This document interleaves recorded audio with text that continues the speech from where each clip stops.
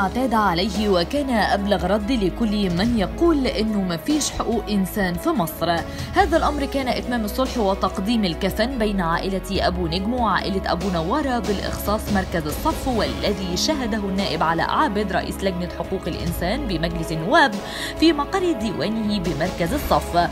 وبدأت مراسم الصلح بآية من القرآن الكريم تلتها كلمة من النائب علاء عابد الذي تقدم بالشكر لكل الضيوف ووجه تحية خاصة لكل الجنود وقوات التأمين لجهودهم وتضحياتهم من أجل مصر.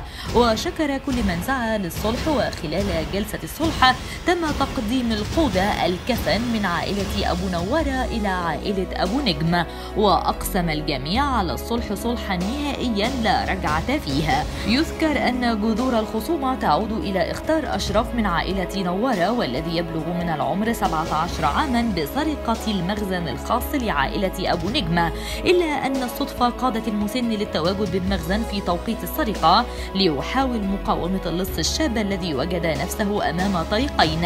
إما الاستسلام للشيخ المسن وافتضاح أمره بين أهالي قريته وإما إنهاء حياته والهرب حيث قتل صاحب المخزن المرحوم جمعة أبو نجم ثم فر هاربا وتم القبض عليه من قبل رجال الشرطة بمركز الصف.